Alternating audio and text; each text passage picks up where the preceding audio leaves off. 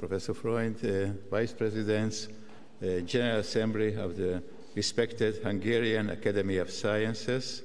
As you just heard, I, I was born in Hungary, but I left uh, when I was a child, so I won't be able to speak in Hungarian. I can understand it, but not to give a lecture. Uh, so I'll give it in, in English. I hope it's all right. Um, and uh, I would like to again to express my gratitude for inviting me to this wonderful place. So let me tell you about my work. Uh, I am working for quite a long time now on the problem of how proteins are degraded in cells. And for that, first I have to explain what are proteins because there's a very uh, mixed uh, audience. So let me start. So proteins are the so-called machines of our body. Almost all the processes that we need for life are carried out by proteins. For example, proteins carry out the different chemical processes. Oh, sorry. Towards the chemical processes. We have thousands of different chemical reactions in our body which are all required for our life. And all these uh, thousands of different chemical reactions are carried out by thousands of different proteins which are called the enzymes. So we, we need uh, many, many enzymes because each, each enzyme carries out a, a certain uh, chemical reaction. Then uh, we need uh, proteins for physical processes. Uh, for example, uh, the working of our brain.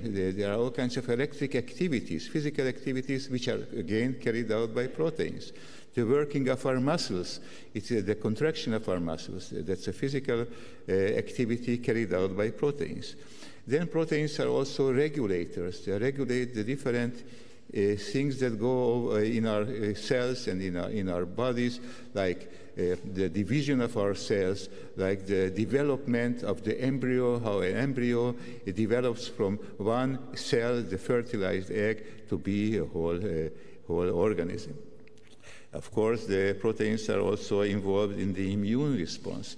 You heard about antibodies. We have thousands of different antibodies. Each antibody is uh, neutralizing a certain invading uh, organism, and we can have we, we, we, can do that because each antibody is a different protein that carries out this, its function, uh, the neutralization of that invader.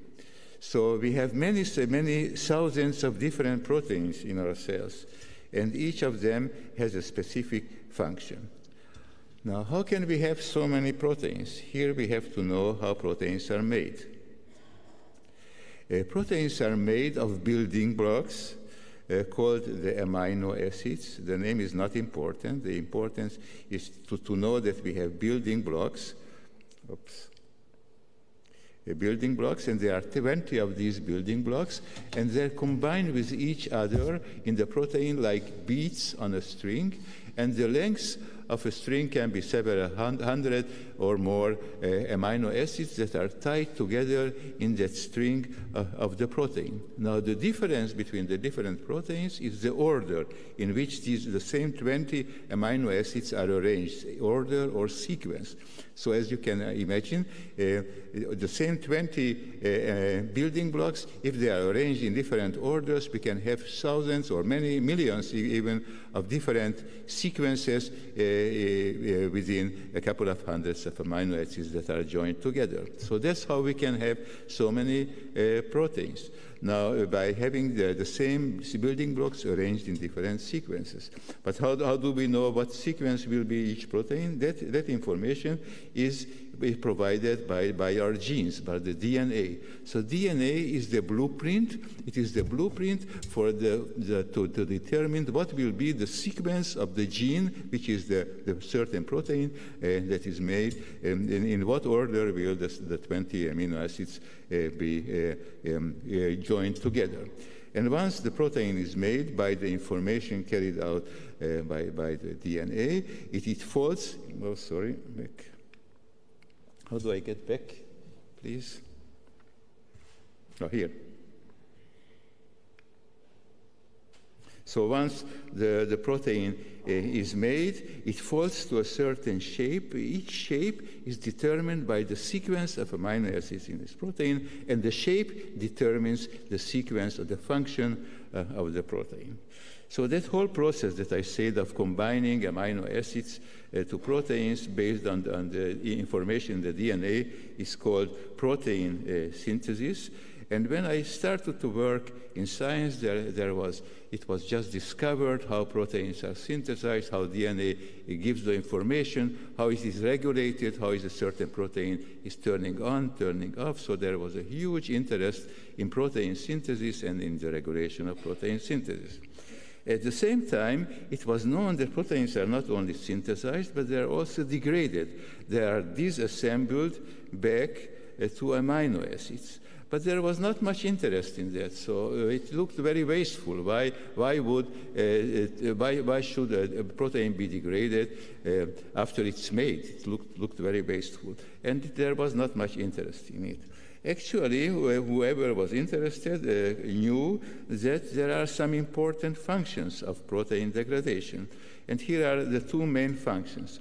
Uh, the, some uh, proteins lose their, the, their shape, their folding, uh, very, very, uh, it's very delicate. It can be lost very easily by, by all kinds of damages. And when the, the, the shape of the protein is lost, it becomes abnormal.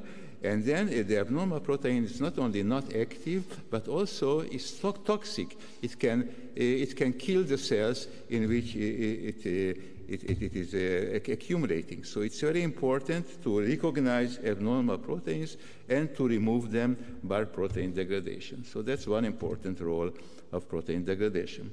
But there is another important role which, is, which acts on completely normal proteins, uh, and that is to degrade regulatory proteins. So some proteins that regulate a certain process have to act for a very short, uh, defined period of time, and then they have to be removed. Imagine, for example, uh, the, an orchestra. We can, we can imagine the cell like a huge orchestra in which the thousands of proteins are the players, and they play in harmony. And then we have a symphony. Now, one of the players now gets up, let's say a trumpet, plays a tune, but then he has to stop. If he doesn't stop, he will ruin the symphony. So it's very important to stop. In the cell, it stops by degrading. It, may, it, it, starts by making the protein, by synthesis. It stops by degrading the protein. So the trumpeter is being destroyed. So it's a quite uh, drastic way to, to stop uh, an action, but that's a very efficient way, and that's how, how things are regulated in cells. So when I was, uh, as I said, a, a young postdoctoral fellow, uh, I, uh, by accident, I heard about protein degradation, uh, and uh, I thought that even though it's, it's not much in, uh, inter, in, general interest, it's, I thought it's an important process. And I also I began to work on it, and I, by accidentally I found that the degradation of proteins inside the cells requires energy, and that was that impressed me very much because protein degradation outside the cell, like uh, digestion, does not require energy. So why is energy required for protein degradation? And because of these reasons, I began to work on the problem of protein degradation and ask the questions, uh, how are cellular proteins degraded in a highly selective and regulated mode. So how is one protein out of the many thousands of proteins is degraded at a certain time and the others are not degraded? How is this selected? It's called the selectivity. What determines this high selectivity of protein degradation? And then the second question was, why is energy required for the degradation of proteins, which, which I just discovered? And then I kind of combined that. I thought maybe energy is, is needed for selectivity.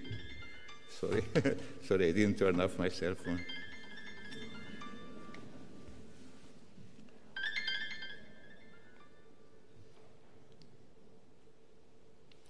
Okay. Uh, so why is energy needed for selectivity? And that, uh, that, um, that thermodynamically it made sense because we need energy to, to, to produce order. That is a, a thermodynamic principle. But how is that made? So uh, I, I, saw that these are very important questions, and then I began to work on the problem of how proteins are de degraded in cells and why is energy needed uh, for selectivity.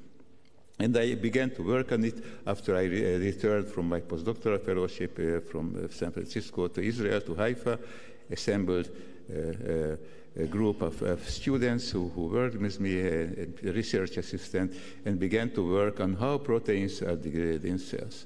And I thought uh, that the best way is to use a biochemical approach. In biochemistry, if you want to know how a complex system works, one has to open the cell to isolate the different components of the system, to, to uh, characterize them how they work, and then to put them back together, and if it works again, uh, you will know how the system works. Uh, I can liken it to, to a watch. If we want to know a, mechanical watch, how mechanical watch works, we have to open up the watch, of course, very carefully. No, didn't turn it off. I, I thought I did. Sorry, sorry about that.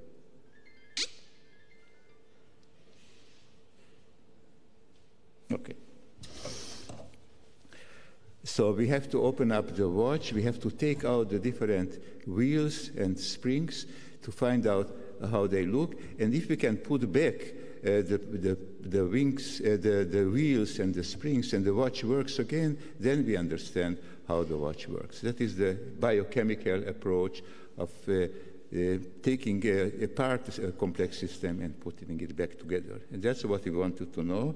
And it took up a couple of years.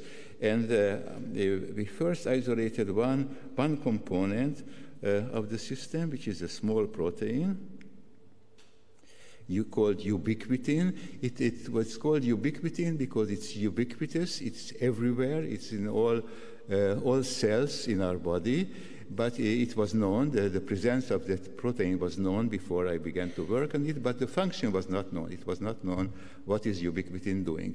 And we isolated this small protein and, isolate, and uh, identified it as ubiquitin, and we knew it is part of the system that degrades proteins independence of energy. So that was the first step. It was like isolating uh, a wheel of, of that, uh, uh of that uh, uh, watch. So we knew the wheel is, is part of the machinery, but we didn't know how it works. But it was an important step forward because it allowed us to find out how the system works. So this is the structure of ubiquitin here. It's a small protein, uh, only 76 amino acids. Don't, you don't see the amino acids, you see only the general shape. So, yeah. You see only uh, the general shape. It is very compact, but it has uh, one end that is flexible, and that's an important end because here, with, with that end, it gets uh, bound chemically to the proteins that have to be degraded. So we found uh, two years later that ubiquitin by, actually is bound by a strong chemical linkage to the protein that has to be degraded, and that is, it, it actually is marking. It is a marking mechanism, the, the binding of ubiquitin to the protein that has to be degraded uh, that targets it for degradation. So that was the main uh, finding. And uh, the following 10 years we worked on the, uh, on the details of this uh, system, uh, of the, that is how, how, the whole watch works, and I won't, won't, go into all the details, it's too technical, but uh, basically we found that the ubiquitin-mediated protein degradation system is is made of two parts. In the first part, the ubiquitin chain, the ubiquitin is linked to the protein. So um, again, Ubiquitin is linked to the protein, that is the first part. Um, and then uh, in the second part, the protein that is linked to ubiquitin is degraded by a big machinery called the proteasome. So in the first part, I won't go into all the details, but you, uh, you can see the protein, that is this uh, brownish thing, uh, to which ubiquitin, that's the small, uh, uh, um, uh, um, the small uh, um, uh, blue circles is, is added, and then a chain is made in which each ubiquitin is bound to the previous ubiquitin. I don't want to go into the details, just wanted to point out two things. One, that a, a molecule called ATP is required for this process. ATP is the molecule that contains the energy in cells. So the, the binding uh, of, of ubiquitin to the protein we found requires ATP, requires energy. And that is uh, the answer to our first question. Why is energy needed for protein degradation? Energy is actually needed for the linking of ubiquitin for, for what, is, what happens before the actual protein degradation, for the marking because and that now make made sense because to mark you may, must made, make a chemical bond. To make a chemical bond requires the investment of energy. So we have we invested energy in order to have uh, um, this marking process. And the second uh, thing that I wanted to point out that a certain enzyme, there are three enzymes that are involved, and the, the third is, one is the most important, enzyme number three, E3, because the third enzyme is the enzyme that recognizes to which protein a ubiquitin has to be linked. And now we know there are about 600 different E3 enzymes, and each E3 enzyme links ubiquitin to a different kind of a protein, but that it recognizes a certain structure in the protein. And that gives us the, uh, the, the answer to the second question of what determines the high selectivity of protein degradation. Uh, the high selectivity is determined by the, by the selectivity of the E3 enzymes that uh, ligate ubiquitin uh, to different proteins. And then, as I said, in the second part of the system, the protein that is now linked to ubiquitin is degraded by a structure called the proteasome. The proteasome is like a barrel into which the protein that has been linked to ubiquitin is stuffed inside. It's like a meat grinder, but a very sophisticated meat grinder because only proteins that are linked to ubiquitin are, are being put inside that machine and are, are chopped up uh, to small pieces. So that is what determines that only proteins that are linked to ubiquitin are degraded because the proteasome will degrade only proteins that are linked uh, to ubiquitin. So by that process, the protein is now chopped up to, to, to, small pieces and then from them to amino acids. And ubiquitin actually escapes the machinery intact and it can be used again uh, for, uh, for, binding, for uh, binding to another protein and targeting it for degradation. So that was the basic biochemistry of the ubiquitin system that, that we found out, we, I mean, uh, my, my, my, students, myself, my collaborators, and that first only we were interested in, but uh, gradually other people uh, got, got interested. And I also began to work on the problem of what is this system doing in the cells? Because until now we used model, model uh, proteins and we just uh, used one certain uh, cell in which we, we, investigated the problem. So that is how I got interested in the roles of the ubiquitin system in cell division. And uh, that is a, a diagram from a textbook of how the cell divides. It's called the cell division cycle. You can, uh, you can write it in a way of a cycle. It is, it is a, a process in which the cell divides. It first uh, grows, it begins, begins better, it duplicates its contents, it duplicates its DNA, it has a double number of DNA, and then uh, after it does all that, uh, there is a, a, a phase called uh, mitosis, in mitosis, the, the DNA that has been duplicated and uh, packaged into chromosomes, now dividing, the chromosomes separate, and we have two new cells. And then if you have another cycle, the two cells be, uh, turn to four cells and so on. So that was known for more than 100 years, that cells are dividing this way. But it's not known what makes them to divide. And only um, uh, recently it was found out that it is, it is done by certain cell cycle regulatory proteins uh, called cyclins. And cyclins are proteins that are raised, the levels of which raise and then decline at certain phases of cell cycle. There are several cyclins several cyclins for each uh, phase of the cell cycle. And to get into the cell into that phase, the cyclin has to be made, it's synthesized.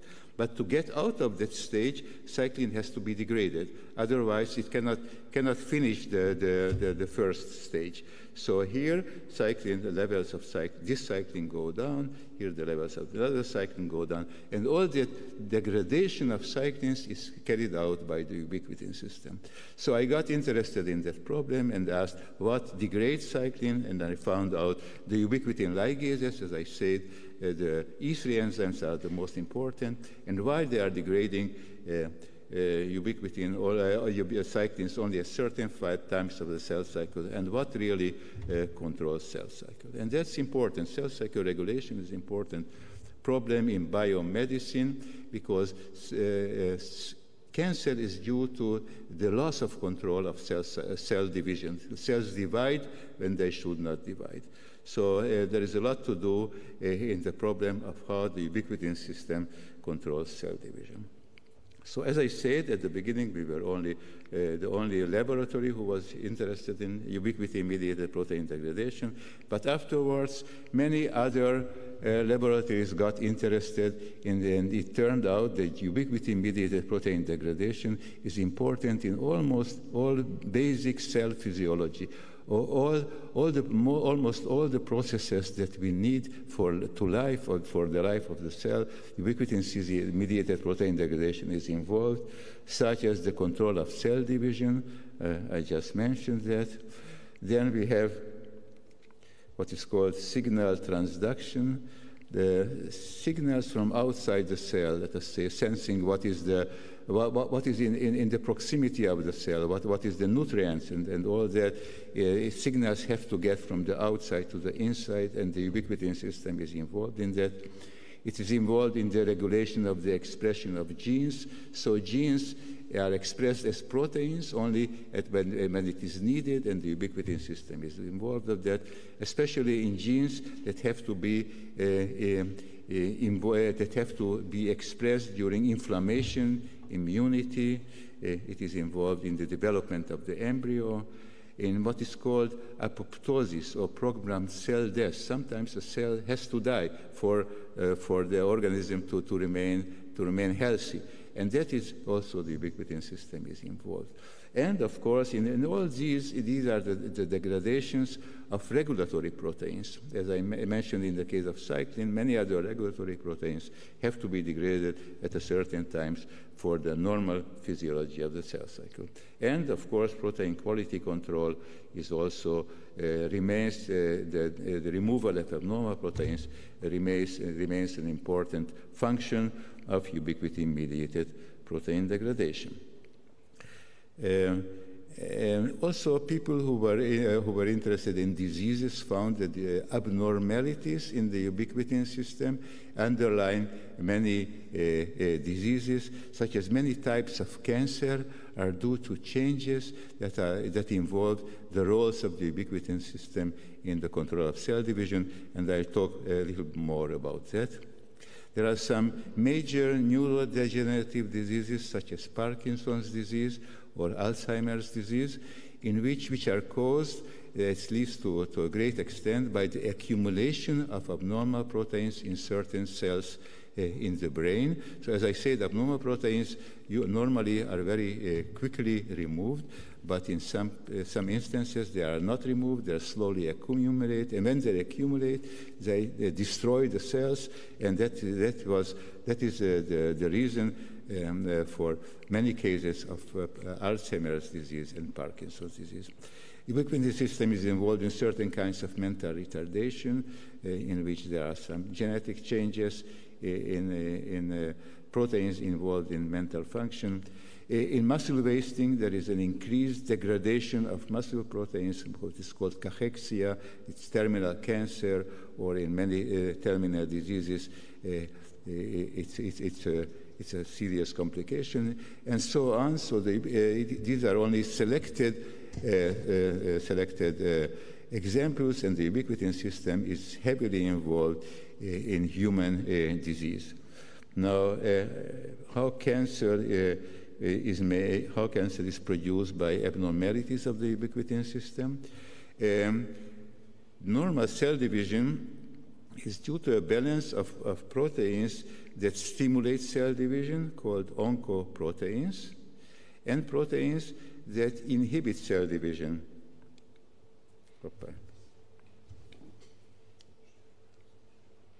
And proteins that inhibit cell division called uh, tumor uh, suppressor proteins. Uh, normally, there is a, a, balance between the action of uh, oncoproteins and the tumor suppressor proteins, so the cell divides only when it should divide. It, it doesn't divide when it should not divide. But in cancer, there is an imbalance. Uh, either the oncoproteins go up too much and there is a lot of stimulation of cell division, or uh, the tumor suppressor proteins go down. It's like, like a car. So to operate a car, you need a gas pedal which will push the car forward and the brake pedal that will restrain the, the, the, the car. And you, you, usually you don't, uh, you only drive when you should drive and you stop when you should stop.